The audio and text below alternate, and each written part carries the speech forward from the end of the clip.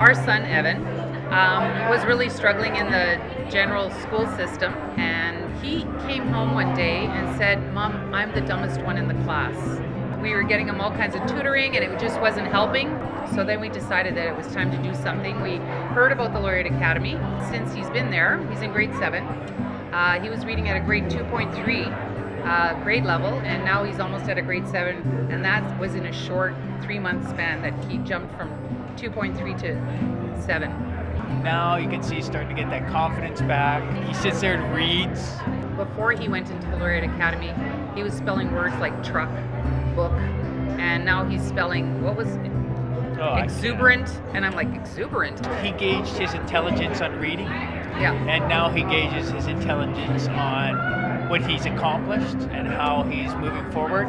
And the staff alone, like the laureate staff, they truly care about these kids. They give everything.